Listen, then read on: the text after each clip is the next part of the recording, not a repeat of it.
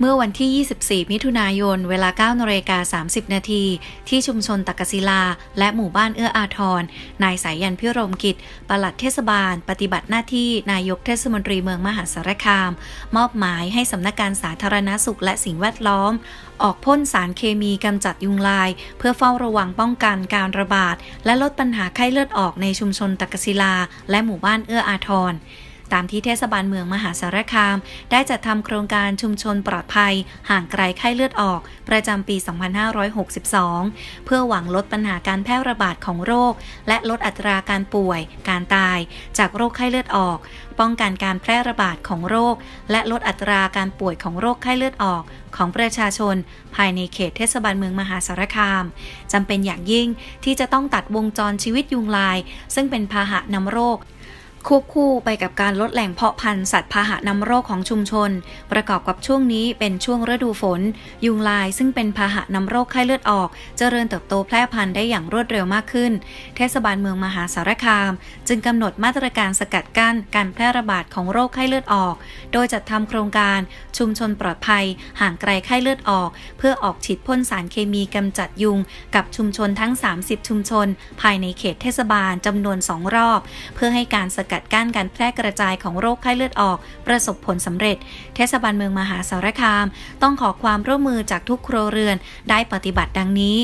ปิดปากโอ่งน้ำด้วยผ้ามุ้งหรือพลาสติก มัดให้แน่นมิดชิด ใช้ไม้ตียุง ใส่สารเคมีกำจัดลูกน้ำยุงลาย หรือทรายอเบดลงในภาชนะกักเก็บน้ำ โดยขอรับได้จากอสมในชุมชนของท่าน ใส่ปลากินลูกน้ำ เช่นปลากระดี ปลาหางนกยูง ปลาสอด ลงในภาชนะกักเก็บน้ำ หรือใส่ปูนแดงปั้นเป็นก้อนกลม หลังจากตากแห้งแล้ว ลงในภาชนะกักเก็บน้ำฉีดสเปรย์พ่นฆ่ายุงภายในบ้าน พร้อมปรับปรุงสิ่งแวดล้อมภายในตัวบ้าน นอกบ้านให้เป็นระเบียบ สะอาด โปร่ง อากาศถ่ายเทได้สะดวก และหากสมาชิกในครอบครัวของท่าน ป่วยเป็นไข้เลือดออก หรือมีปัญหาข้อสงสัย สอบถามข้อมูลเพิ่มเติม ได้ที่สำนักการสาธารณสุขและสิ่งแวดล้อม เทศบาลเมืองมหาสารคาม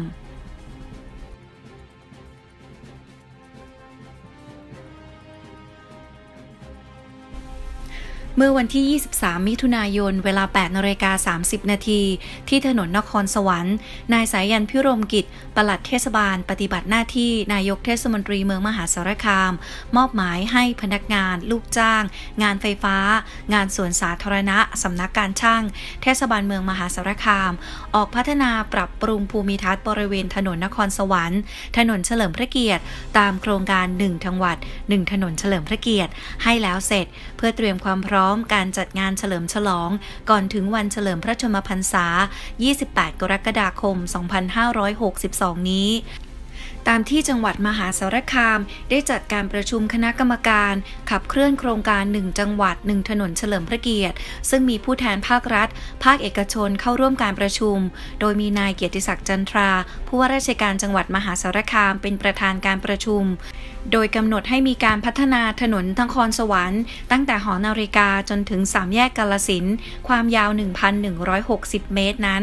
ที่ประชุมมีมติกำหนดแผนการพัฒนาระยะสั้น พร้อมดำเนินการให้แล้วเสร็จ ก่อนวันเฉลิมพระชนมพรรษา ในวันที่ 28 กรกฎาคม 2562 กิจกรรมประกอบด้วย การทำความสะอาดตลอดเส้นทาง การทาสีรั้วตลอดเส้นทาง การตีเส้นจราจรตลอดเส้นทางสำหรับแผนการพัฒนาในระยะยาว จังหวัดมหาสารคาม เห็นชอบให้ดำเนินการปรับปรุงช่องทางรถจักรยานยนต์ ให้เป็นทางเท้า ระยะทางฝั่งละ 500 เมตร การปรับปรุงระบบไฟฟ้า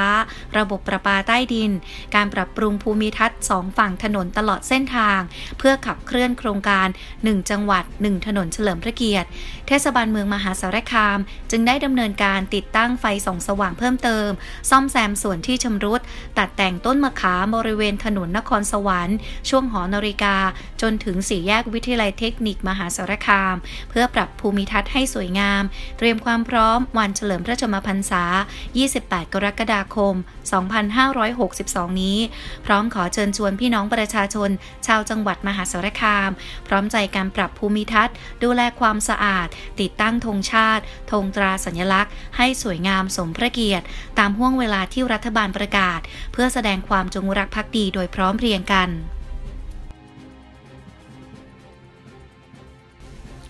เมื่อวันที่ 24 มิถุนายน เวลา 9 นาฬิกา ที่อาคารอเนกประสงค์ โรงเรียนเทศบาลบูรพาพิทยาคาร นายสายยันพิรมกิจ ปลัดเทศบาล ปฏิบัติหน้าที่นายกเทศมนตรีเมืองมหาสารคาม เป็นประธานเปิดกิจกรรมโครงการ พัฒนาศักยภาพด้านการสาธารณสุข ประจำปี 2562 จัดอบรมอาสาสมัครสาธารณสุขในโรงเรียน หรืออสร โดยมีนายโกพัฒสมสารองปลัดเทศบาลกล่าวรายงาน โอกาสนี้นายมาศโพสูงเนิน ผู้อำนวยการกองการศึกษา นางสาวการจนาการจนทวัฒน์ผู้อำนวยการสำนักการสาธารณสุขและสิ่งแวดล้อม พร้อมด้วยผู้อำนวยการสถานศึกษา สังกัดเทศบาลเมืองมหาสารคามทั้ง 7 แห่ง ร่วมเป็นเกียรติในพิธีเปิดกิจกรรมด้วย ทั้งนี้โรงเรียนหรือสถาบันการศึกษา เป็นสถานที่ที่มีเด็กและเยาวชน มารวมตัวกันเป็นจำนวนมากจำเป็นอย่างยิ่งที่ต้องจัดเตรียมโครงสร้างให้มีตัวแทนของนักเรียนที่มีประสบการณ์ ในด้านการส่งเสริม และดูแลสุขภาพของนักเรียน ครู บุคลากรในโรงเรียน โดยดำเนินการในรูปแบบของอาสาสมัครสาธารณสุขโรงเรียน ซึ่งคัดเลือกจากตัวแทนนักเรียนในสังกัดเทศบาล ร่วมอบรม รับความรู้ และพัฒนาให้ความรู้ความเข้าใจ และมีทักษะในการส่งเสริมสุขภาพ ตลอดจนเป็นตัวแทนในการสะท้อนปัญหาและความต้องการ เพื่อส่งเสริมสุขภาพของตนเอง เพื่อนักเรียน ครอบครัวและชุมชน เพิ่มศักยภาพและพัฒนานักเรียน ให้เป็นอาสาสมัครสาธารณสุขในโรงเรียน โรงเรียนมีผู้นำนักเรียนด้านสุขภาพ และผ่านเกณฑ์การประเมินโรงเรียนส่งเสริมสุขภาพ ทั้งนี้เทศบาลเมืองมหาสารคาม โดยสำนักการสาธารณสุขและสิ่งแวดล้อม ได้จัดทำโครงการพัฒนาศักยภาพด้านสาธารณสุขในโรงเรียนขึ้น เพื่อสร้างอาสาสมัครสาธารณสุขในโรงเรียน หรืออสอรอให้มีความรู้ เจตคติ และทัศนคติที่ดีในด้านสุขภาพที่ถูกต้อง เป็นประโยชน์แก่ตนเองและครอบครัว เป็นตัวอย่างที่ดีของชุมชน สามารถเผยแพร่ความรู้ทางด้านสุขภาพ และให้บริการสาธารณสุขมูลฐานแก่ตนเองเพื่อนนักเรียน พี่น้องและครอบครัวได้ สามารถช่วยเหลือดูแลเด็กก่อนวัยเรียน ในด้านสุขภาพเบื้องต้น และให้บริการสาธารณสุขในครอบครัวได้ สนับสนุนให้เป็นผู้นำด้านส่งเสริมสุขภาพเมื่อจบการศึกษา